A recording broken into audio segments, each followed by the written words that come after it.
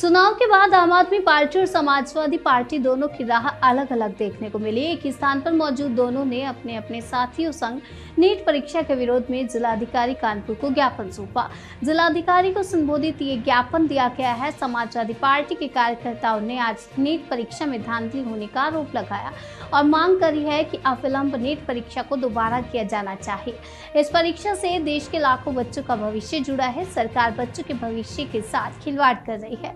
बिना किसी शुल्क के दोबारा से परीक्षा का आयोजन किया जाना चाहिए और इस परीक्षा की सघन जाँच करवाई जानी चाहिए।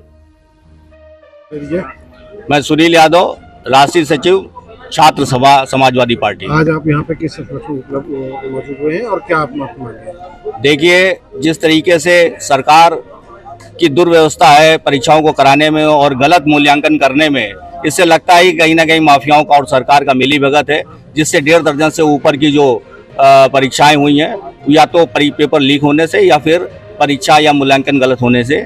इसका इसकी वजह से देश के भविष्य बच्चों का भविष्य खतरे में है। आज हम ही लोगों ने इसी व्यवस्था के अंतर्गत राष्ट्रपति महोदया को डीएम जिलाधिकारी के माध्यम से एक ज्ञापन दिया है।